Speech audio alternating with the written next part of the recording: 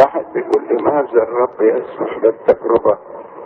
ربنا بيسمح بالتجربة دي النص الحقيقي والنص الثاني أن يكون معنا في التجربة ويجعل مع التجربة المنفذ. وأيضا بيقول الكتاب الله لا يجربكم فوق ما تطيقون ووراء التجربة بركة. واحد بيقول إذا أراد شخص أن يقتلني ماذا أفعل؟ هل أقتله وأدافع عن نفسي أم ماذا؟ ممكن تدافع عن نفسك من غير ما تقتله